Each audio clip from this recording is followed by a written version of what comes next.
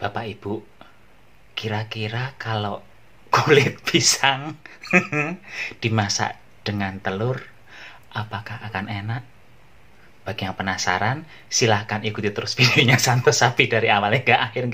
Jangan di skip-skip, nanti nggak jadi masakannya kalau di skip-skip. Jangan lupa bantu subscribe bagi yang belum subscribe, bantu like, komen, dan share bagi semua bapak ibu yang menonton video ini. Nggih pun, ampun bilang saya itu geragas, tapi ini masakannya memang betul-betul kulit pisang. Nggih pun, sekarang langsung OTW. Cacus! Langkah pertama, masukkan kulit pisangnya ke dalam blender. Kulit pisang dan telurnya langsung dimasukkan ya. Dan sekarang Bapak Ibu juga harus sudah menyalakan oven karena prosesnya ini tidak lama, cepat banget. Minyak goreng saya masukkan. Gula pasir juga saya masukkan sekarang ini. Selanjutnya ini akan saya blender. Sekarang lakukan pemblenderan hingga betul-betul lembut.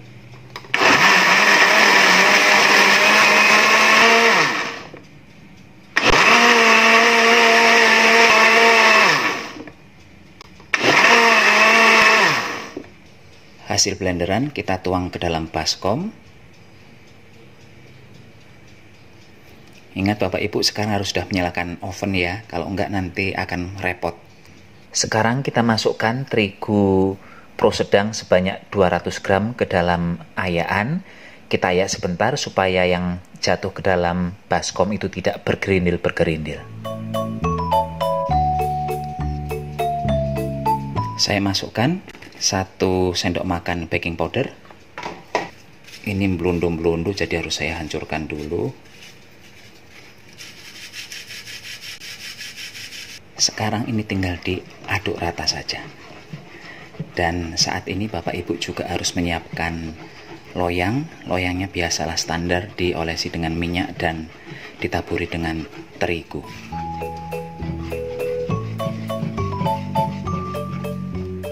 Setelah tercampur rata, sekarang saya akan memasukkan pisang yang akan saya potong-potong kecil.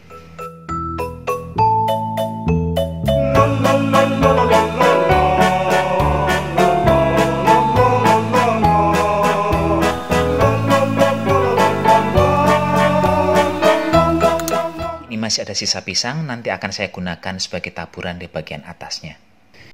Ini diaduk lagi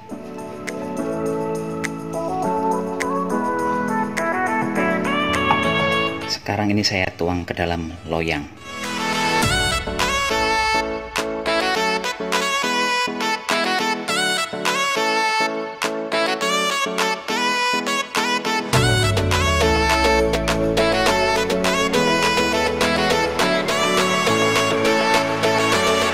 Selanjutnya bagian atasnya akan saya beri pisang lagi seperti ini.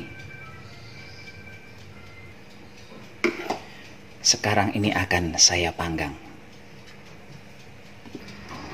Saya akan memanggang di suhu 200 menggunakan api bawah selama 45 menitan. Nanti kalau kurang ya ditambah lagi gampang ya. Nanti saya baru akan memindahkan ke api atas setelah 10 menit menjelang ovennya mati. Dan ini sudah lebih dari 45 menit. Tadi saya menyetingnya 50 sekian menit ya, takut nggak uh, matang ternyata nggak sampai 50 menit udah matang. Sekarang akan saya matikan saja ovennya. Tada! Tuh kelihatan jelas nggak hasilnya seperti itu. Cantik ternyata. Hmm tuh. Hasilnya jadinya tinggi. Ini hasil akhirnya seperti ini Bapak Ibu. Dan ini masih panas banget. Kita biarkan dingin dulu. Setelah dingin nanti kita potong-potong kita lihat bagian dalamnya seperti apa ya. Ini sudah lumayan dingin masih hangat sih tapi udah bisa dipegang. Tuh bagian bawahnya seperti ini. Cantik ya ternyata ya. Membuatnya gampang cuma dengan blender dan hasilnya sangat oke. Okay. ini hasil akhirnya seperti ini bapak ibu. Cantik sekali tuh. Hmm, mau diputer-puter sampai jengking juga tetap cantik ini tuh. Hmm. silahkan dicoba. Jangan dibuang lagi ya. Kalau punya kulit pisang ini dijadikan begini tuh wendol ternyata. Kayaknya ya karena dari aromanya sih sangat oke. Kalau endol enggaknya saya juga belum tahu harus dicoba dulu ini. Sekarang langsung dipotong bagian dalamnya. Kita lihat seperti apa. Yang sebelah sini aja yang tidak terlalu banyak pisangnya. Eh kok kayaknya enak-enak saja ini motongnya bayangan saya itu tidak akan seindah ini ternyata. Uh dugaan saya meleset ini cantik tiada tara. Tuh hmm, kulit pisang ternyata bapak ibu tuh. Hmm, silahkan dicoba di rumah kalau tegel makan silahkan dicoba di rumah. Ini saya juga masih mikir-mikir ini mau makan nggak. Tapi harus dicoba ini nggih. Saatnya ngicipi. Kulit pisang tuh kalau di kampung saya biasanya dikasihkan kambing. Nah ini santonya santo sapi bukan santo kambing. Masa suruh makan kulit pisang? Enak sih bapak ibu kalau aromanya kalau mbok saya tahu marah ini makanan dicium-cium. Hmm.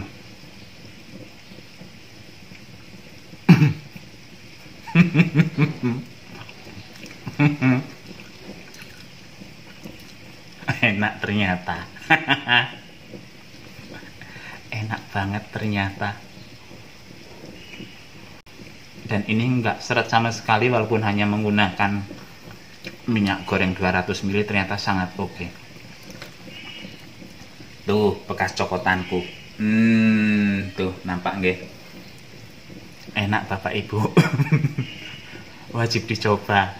Saya itu antara bahagia dan dan masih belum masuk di otak saya nggih. Mm -mm. orang suran donat lewat. Bisa selembut ini saran saya sih kalau bapak ibu berkenan membuat di rumah jangan gunakan pisang yang asem. Maksudnya teksturnya cenderung asem ya kayak pisang kepok terus pisang siem. Pisang siem itu tak tahu bahasa Indonesia nya apa. Pokoknya dulu zaman dulu tuh pisang itu banyak bijinya di dalamnya. Modelnya kayak pisang-pisang kepok gitu cuman lebih montok sedikit uh, bentuknya. Tapi kalau di Batam saya belum pernah lihat pisang siem. Itu usahakan dihindari karena kulitnya nggak terlalu enak untuk dimakan mungkin. Karena pisangnya juga ada rasa-rasa asamnya nggih. Kalau saya tadi menggunakan pisang barangan. Kalau di Batam itu ada sebutannya pisang garang, barangan. Tapi di kampung saya juga sekarang ada yang nanam pisang itu. Dan saya merekomendasikan sih menggunakan pisang itu saja tuh. Hmm, enak ini seumur-umur geragasnya kebangetan ya ini. Kalau biasanya kan cuman kulit semangka lah ini kalau kulit pisang dimakan. Hmm. biarlah geragas-geragas kayak gitu. Tapi asli ini enak pak bu. Hmm. dan ini matangnya tuh tanak kalau masak nasi itu sampai tanak dan ini betul-betul saya manggangnya betul-betul tanak. Tadi di awal saya bilangnya 40-an 45 menit ya. Terus saya eh, pas setting timenya timernya itu enggak 50-an menit takut nanti nggak matang 40 45 menit tadi itu.